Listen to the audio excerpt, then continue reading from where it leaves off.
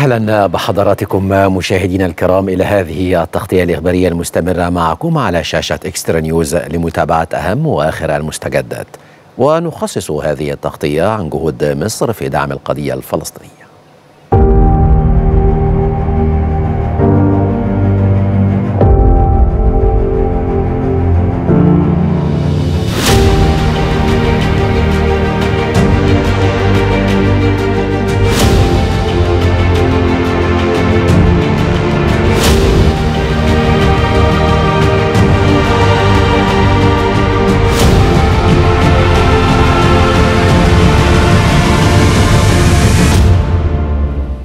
تنفيذا لتوجيهات الرئيس السيسي يكثف منفذ رفح البري عمله لتسهيل دخول المساعدات للأشقاء في قطاع غزة ولعبور المصابين والعالقين. وأفاد مراسلنا بأنه تم إدخال 60 شاحنة مساعدات إلى قطاع غزة من منفذ رفح و22 شاحنة عبر منفذ كرم أبو سالم يوم الجمعة التاسع عشر من أبريل. مشيرا إلى أن إجمالي شاحنات المساعدات التي وصلت إلى قطاع غزة عبر منفذي رفح وكرم أبو سالم الجمعة 19 من أبريل وصلت إلى 82 كما تم إدخال أربع شاحنات غاز وثلاث شاحنات وقود إلى القطاع عبر منفذ رفح. كما استقبل معبر رفح 26 مصابا فلسطينيا و66 مرافقا يوم الجمعة التاسع عشر من أبريل.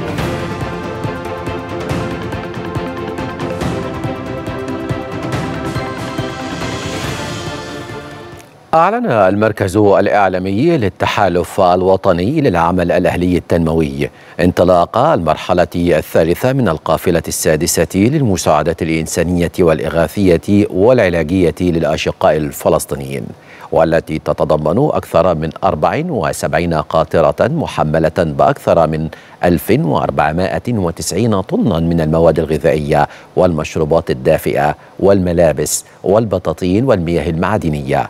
حيث شملت أكثر من 1286 طنا من المواد الغذائية ونحو تسعة أطنان من المشروبات الدافئة بالإضافة لأكثر من 30 طنا من الملابس والبطاطين وأكثر من 165 طنا من المياه المعدنية. ويشارك في القافلة كيانات ومؤسسات التحالف الوطني للعمل الأهلي التنموي وذلك لدعم الأشقاء في غزة لمواجهة وتحمل أعباء الحرب التي أسفرت عن سقوط الآلاف من الضحايا والمصابين. يأتي ذلك تنفيذا لتوجيهات الرئيس عبد الفتاح السيسي بتقديم الدعم الفوري والإغاثة الإنسانية لدولة فلسطين الشقيقة وهو ما يتم بشكل مستمر في إطار دعم وتضامن مصر تجاه الشعب الفلسطيني الشقيق لتخفيف حدة أحداث العنف التي أدت إلى سقوط العديد من الضحايا والمصابين.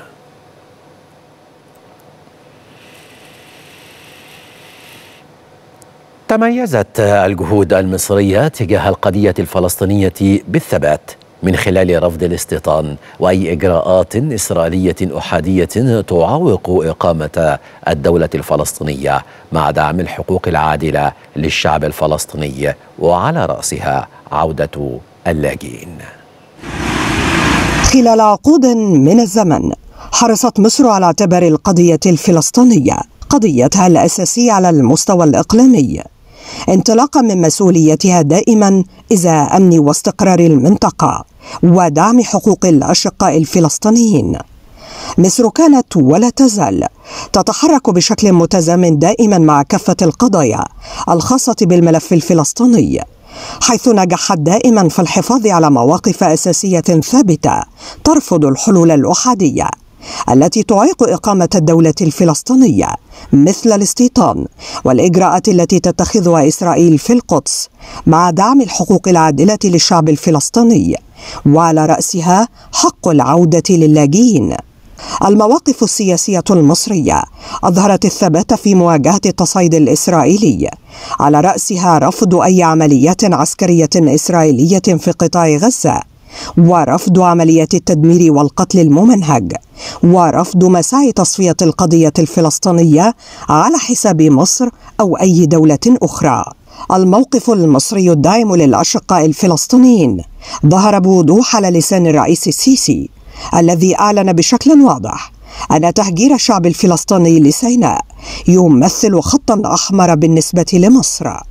وقد أكدت مصر منذ اللحظة الأولى على أن هذا التصعيد يضر بالأمن الإقليمي للمنطقة ككل وليس فقط بالداخل الفلسطيني.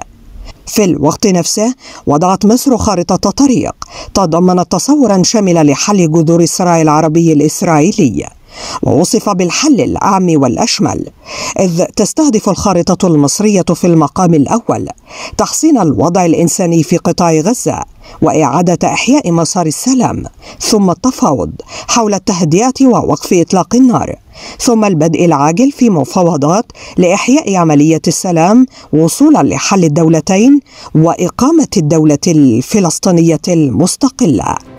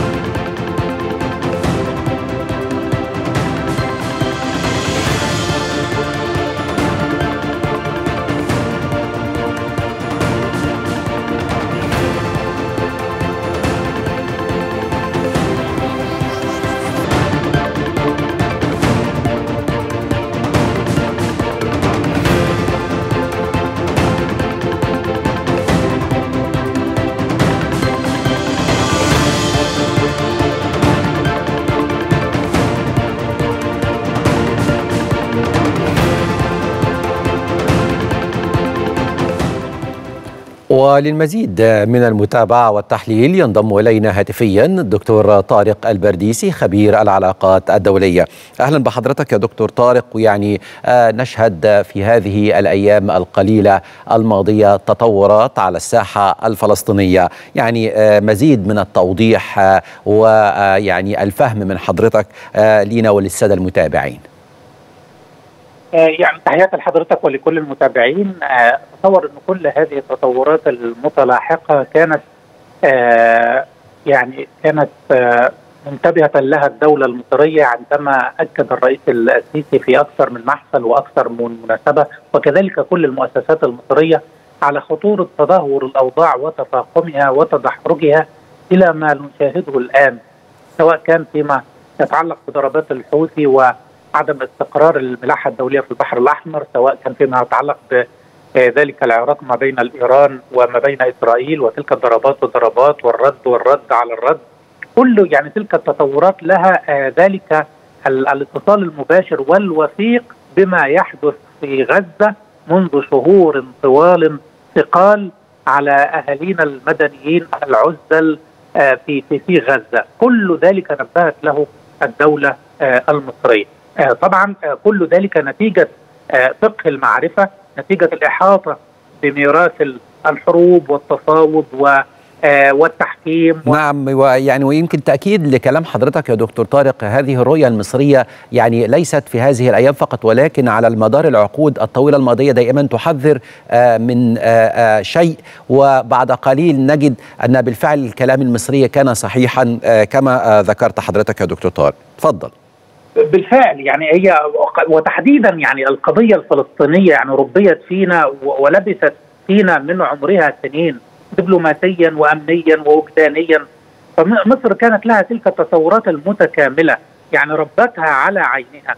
من أيام الرئيس الراحل جمال عبد الناصر من أيام الرئيس السادات ومينا هاوس والرئيس مبارك وهو القائد والزعيم الرئيس السيسي فأتصور أن مصر من خلال تلك القيادات والزعامات والمؤسسات لها هذه الرؤية الموضوعية الاحترافية التي تريد الاستقرار والتنمية والسلام للكل لأنه حتى الإسرائيلي لن ينعم بالأمن ولا السلام ولا فرص الحياة إلا إذا كانت هناك تسوية شاملة عادلة تعطي للفلسطيني حقه. لا نعطيه يعني منة أو فضلا أو منحة وإنما نعطيه حقوقه. هذه الرؤية المصرية وهي لها يعني ترتكز على المرجعية الدولية وعلى الشرعة الدولية وعلى القرارات الدولية التي صدرت من كل الهيئات والفروع الجمعية العمومية ومجلس الأمن وكل هذه المؤسسات والأجهزة.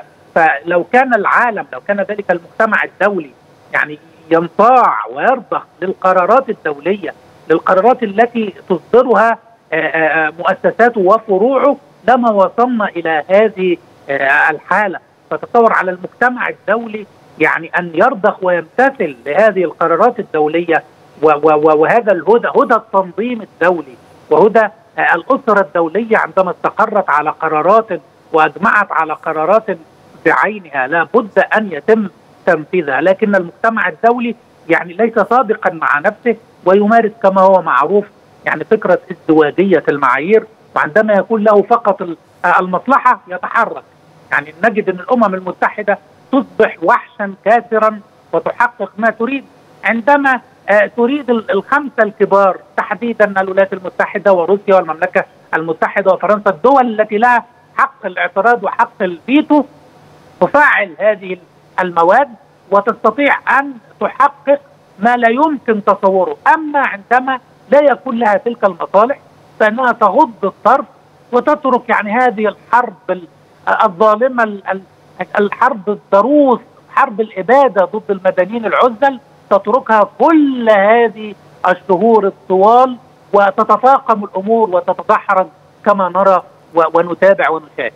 نعم طيب دكتور طارق يعني يوم أمس يعني تم استخدام حق الفيتو من الولايات المتحدة الأمريكية لرفض عضوية فلسطين. طبعا في مجلس الأمن يعني عضوين امتنعوا عن التصويت. الولايات المتحدة قدمت حق النقد الفيتو واثنتي عشرة دولة وافقت على يعني مشروع القانون أو الاقتراح الذي الذي تقدمت به دولة الجزائر. يعني هل هذا دكتور طارق سوف يؤثر في الأوضاع الحالية أو يعني يؤثر بطريقة أو بأخرى. يعني هذا فقط هو, كاشف ليس منشئا لأمر جديد وإنما هو كاشف لتلك السياسة الأمريكية وهذا وهذا البور وذلك الظلم وأنها يعني أم تدلل ذلك الرضيع الإسرائيلي وتقدم له كل الدعم وتقدم يعني تمده بمشيمة الغذاء والسلاح والتسليح والتكنولوجيات والأساطيل والبارجات وكل ذلك الدعم وتقدم له يعني كل ما آه يجعله آه يستطيع أن أن يعيش لأنه كيان غير كيان مصطنع كيان غير طبيعي. ولكن هذا الأمر يعني كاشف إنه حتى فكرة الاعتراف بالدولة مع أن ذلك الاعتراف يعني في حد ذاته هناك ما يربو على ال 130 دولة في الجمعية العمومية تعترف بفلسطين دولة. ولكن الاعتراف لابد أن يصدر من مجلس الأمن وأمريكا تعترض وتمارس الفيتو ففكرة الاعتراف بالدولة الدولة كما هو معروف لها عناصر رئيسة تتمثل في في شعب وفي وفي أرض وفي وفي سيادة أو سلطة تمارس آآ آآ تمارس آآ هذه السيادة على أراضيها سواء كان في الضفة الغربية أو في في في, في, في غزة. ولكن فكرة ال ال ال الاعتراف يعني لن لن تعطي نموذجا يعني نموذجا أو نقلة يحس بها الفلسطيني لأنه لابد أن نصل أيضا في بعد الاعتراف إلى إلى إلى تفاوض وإقرار السلام وجلوس وجلوس ال الأطراف. ولكن فكرة إنه حتى الاعتراض على هذه الفكرة الأساسية ووضع العصي في عجلة يعني ذلك الاعتراف هو معناه إنه أمريكا راغبة وتراعي وترعى إسرائيل في فكرة التفاوض إلى ما لا نهاية. تفاوض من أجل التفاوض تفاوض إلى يوم القيامة. لكن لا رغبة حقيقية في إعطاء الأرض في في في, في إقامة الدولة الفلسطينية بشكل فعلي. كما أكد الرئيس السيسي إنه فكرة إقامة الدولة أو حل الدولتين أصبحت جملة ممجوجه لأنها استنفذت أغراضها لأنها تلوكها الألسن ولكن دون وجود صيغة تنفيذية فعلية عملية تضع جداول بحيث يعني يظهر في, في الأفق هذا الأفق المسدود سياسيا يظهر متى يتم الإعلان وتمارس هذه هذه الدولة سيادتها. ولكن من الواضح هذه السياسة الإسرائيلية وذاك الدعم الأمريكي هو تفاوض من أجل التفاوض فقط لكن لا نية على الإطلاق في إعطاء أو الاعتراف بهذه الدولة. حتى ان حتى أن رابين الذي تم اغتياله رابين الذي يعتبر يعني من حمائم السلام هو نفسه لم يكن في في في, في نيته أن يعترف بالدولة. هو كان يتحدث عن كيان أكبر من الحكم الذاتي وأقل من الدولة. يعني هذا هذه فكرة حتى ال ال يعني داعم السلام أو فكرة الحمائم. فما بالك بالصقور والمتطرفين.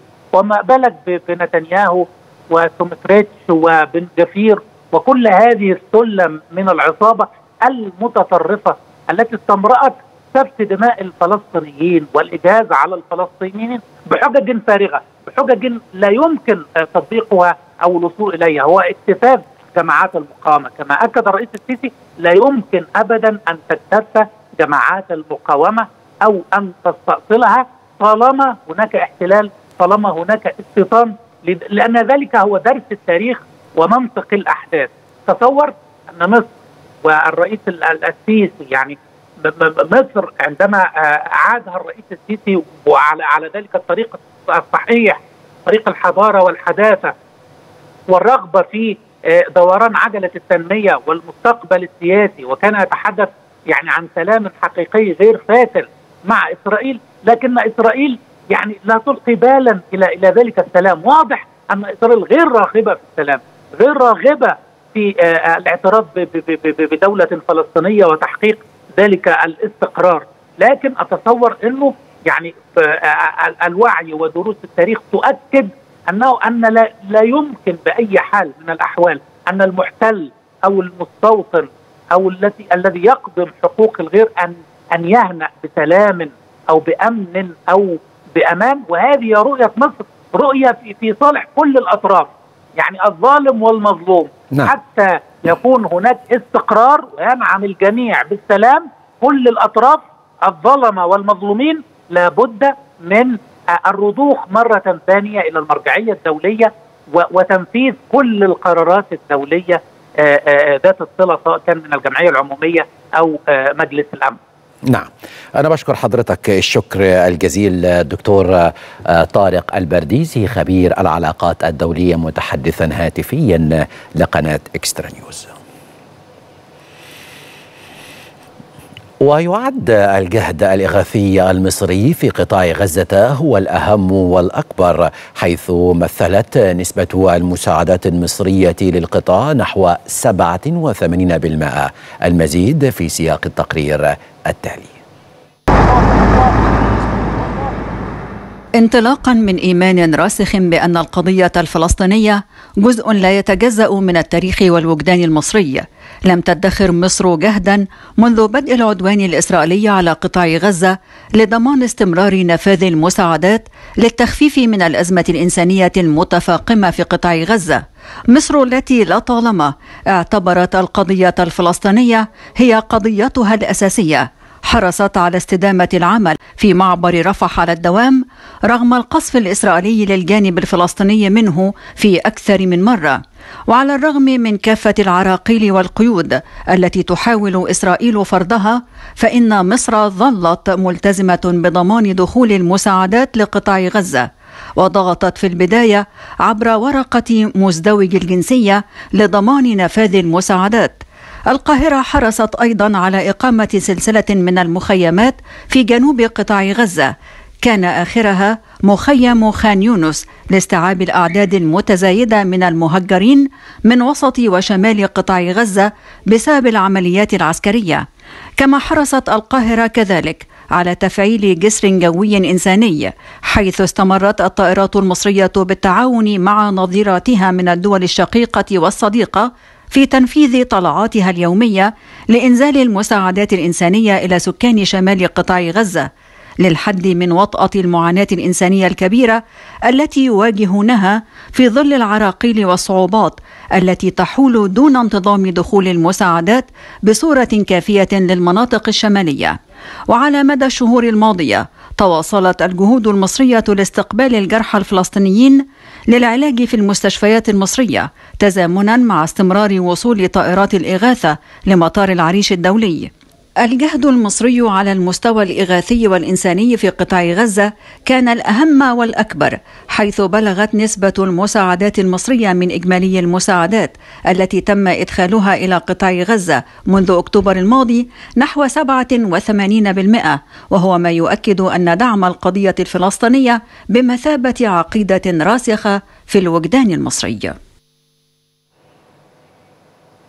مسارات عديدة سياسية وإنسانية تتخذها مصر لدعم الشعب الفلسطيني.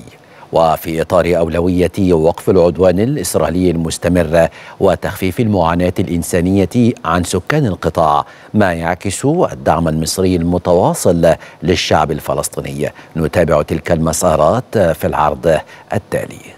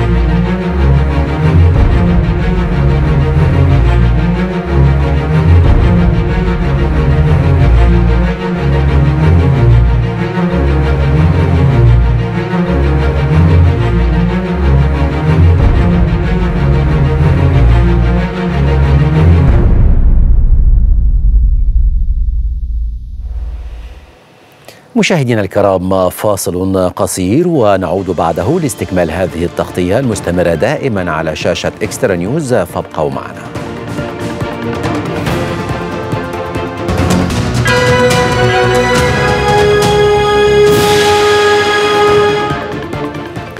أهلا بحضراتكم من جديد في هذه التغطية الحية ومستمرة دائما على شاشة إكسترا نيوز والتي خصصناها في هذه الفترة لإبراز جهود مصر في ودعمها للقضية الفلسطينية.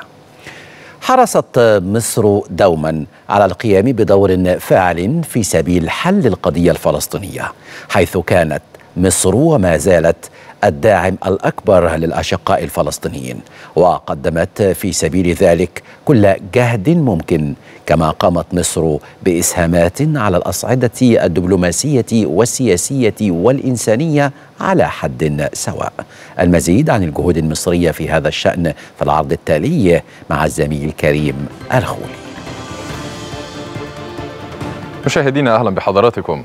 منذ بداية العدوان الإسرائيلي على غزة تواصل مصر جهودها لدعم الأشقاء الفلسطينيين بغزة انطلاقا من شعورها بالمسؤولية الإنسانية عن أهالي القطاع. وفتحت مصر منذ اللحظة الأولى معبر رفح بدون قيود أو شروط وأقامت بحشد مساعدات إنسانية بأحجام كبيرة سواء من مصر ذاتها أو من خلال جميع دول العالم التي قامت بإرسال المساعدات إلى مطار العريش وضغطت مصر بشدة على جميع الأطراف المعنية لإنفاذ دخول المساعدات إلى غزة إلى أن استمرار قصف الجانب الفلسطيني من معبر رفح من قبل إسرائيل والذي تكرر أربع مرات حال دون إدخال المساعدات. وبمجرد انتهاء قصف الجانب الآخر من المعبر قامت مصر بإعادة تأهيله على الفور وإجراء التعديلات الفنية اللازمة بما يسمح بإدخال أكبر قدر من المساعدات لإغاثة أهالي القطاع. وتحملت مصر ضغوطا واعباء لا حصر لها لتستطيع تنسيق عملية إدخال المساعدات وفي سبيل ذلك قامت وما زالت باتصالات مكثفة مع جميع الأطراف سواء الإقليمية أو الدولية أو الأممية للضغط من أجل إتاحة دخول المساعدات وزيادة كمياتها بالشكل المطلوب. وبلغت نسبة المساعدات التي تصل لقطاع غزة مقدمة من مصر حكومة وشعبا ومجتمعا مدنيا 80% وقامت مصر بتسهيل وتنسيق زيارات المسؤولين الدوليين والأمميين للمعبر ليتفقدوا من أرض الواقع الجهود الهائلة التي تقوم بها السلطات المصرية. وللمعاونة في تخفيف وطأة الأزمة الإنسانية الحادة التي يعاني منها سكان قطاع غزة بالمناطق التي يصعب وصول المساعدات إليها برا نفذت مصر أعمال إسقاط جوي لأطنان من المساعدات الغذائية ومعونات الإغاثة العاجلة على عدد من المناطق شمال القطاع كما تشارك في تحالف دولي لإسقاط المساعدات الإنسانية والمعونات الإغاثية على قطاع غزة. ويظل موقف مصر الثابت مصمما على وقف إطلاق النار في غزة بأسرع وقت ممكن. حماية للمدنيين الذين يتعرضون لأسوأ معاناة إنسانية يمكن تصورها وإنقاذا لهم من القصف والجوع والمرض. وكذلك ستستمر مصر في قيادة وتنظيم وحشد وإدخال المساعدات الإنسانية لإدخالها للقطاع بأكبر كميات ممكنة وتحث في هذا الصدد جميع الأطراف المعنية على التعاون والتنسيق وتقديم التسهيلات اللازمة لإدخال المساعدات بالشكل المنشود. كما تؤكد مصر أن أي محاولات أو مساع لتهجير الفلسطينيين من أراضيهم ستبوء بالفشل وأن الحل الوحيد للأوضاع الراهنة يتمثل في حل الدولتين وإقامة دولة فلسطينية مستقلة على حدود الرابع من يونيو عام 1967 وعاصمتها القدس الشرقية. مشاهدينا كان هذا عرضا موجزا حول جهود مصر لدعم الأشقاء الفلسطينيين بقطاع غزة. شكرا لكم على طيب المتابعة.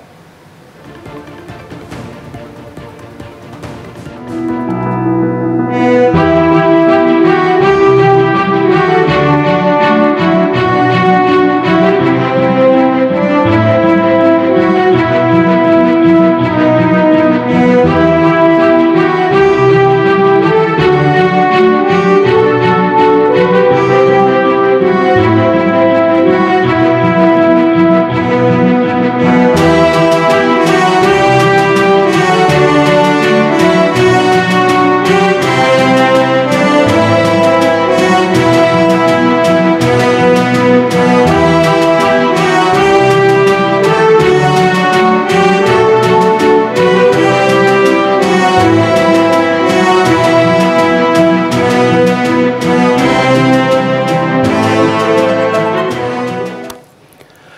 جهود حثيثة تبذلها الدولة المصرية لطرح حلول يمكن من خلالها وقف التدهور القائم في قطاع غزة وتدهور الأوضاع الإنسانية وسط استمرار لسياسة التهجير القسري التي تنتهجها إسرائيل وهي جهود بدأ تمهيد لها عبر التواصل الدبلوماسي والسياسي المستمر مع كافة الأطراف الإقليمية والدولية.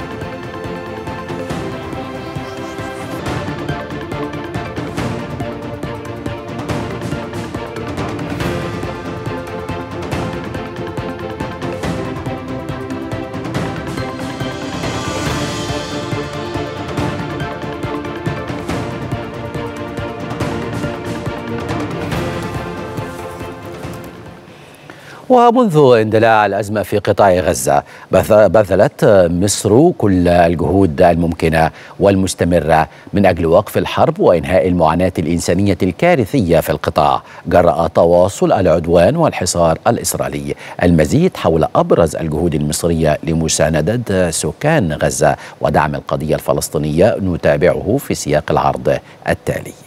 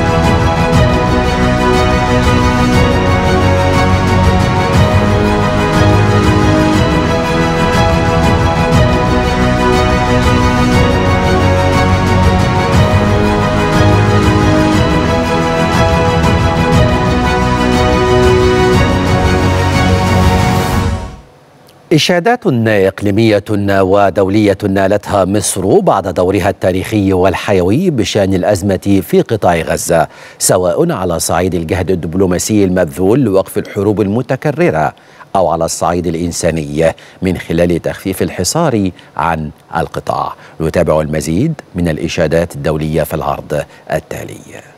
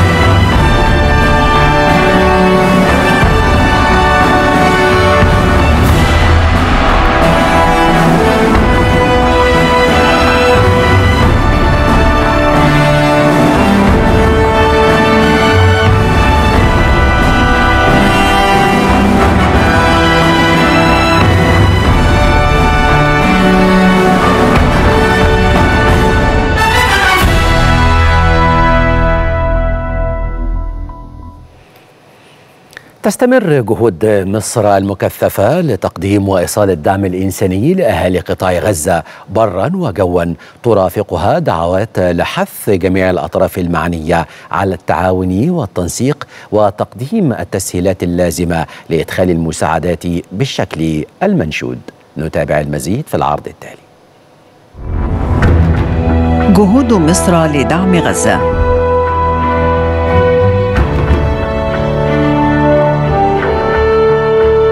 مصر فتحت منذ اللحظة الأولى معبر رفح بدون قيود أو شروط. حشد مساعدات إنسانية بأحجام كبيرة سواء من مصر أو من دول العالم التي أرسلت مساعدات لمطار العريش. 80% من المساعدات التي تصل لقطاع غزة مقدمة من مصر حكومة وشعبا ومجتمعا مدنيا. مصر ضغطت بشدة على جميع الأطراف المعنية لإنفاذ دخول المساعدات إلى غزة. مصر تحملت ضغوطا واعباء لا حصر لها لتستطيع تنسيق عملية إدخال المساعدات. اتصالات مصرية مكثفة مع جميع الأطراف سواء الإقليمية أو الدولية أو الأممية للضغط من أجل إتاحة دخول المساعدات. مصر تشارك في تحالف دولي لإسقاط المساعدات الإنسانية والمعونات الإغاثية على قطاع غزة. تسهيل وتنسيق زيارات المسؤولين الدوليين والأمميين لمعبر رفح ليتفقدوا الجهود المصرية الهائلة. مصر تؤكد موقفها الثابت على ضرورة وقف إطلاق النار في غزة بأسرع وقت. مصر تؤكد موقفها بحماية المدنيين الذين يتعرضون لأسوأ معاناة إنسانية. مصر مستمرة في قيادة وتنظيم وحشد وإدخال المساعدات الإنسانية لغزة. مصر تحث جميع الأطراف المعنية على التعاون والتنسيق وتقديم التسهيلات اللازمة لإدخال المساعدات بالشكل المنشود. مصر تؤكد أن أي محاولات أو مساع لتهجير الفلسطينيين من أراضيهم ستبوء بالفشل. مصر تؤكد أن الحل الوحيد للأوضاع الراهنة يتمثل في حل الدولتين وإقامة دولة فلسطينية. جهود مصر لدعم غزة. وصلنا بحضراتكم إلى ختام هذه الفترة من التغطية المستمرة دائما على شاشة إكسترا نيوز. شكرا لحضراتكم وانتظرونا في نشرة إخبارية مفصلة على رأس الساعة.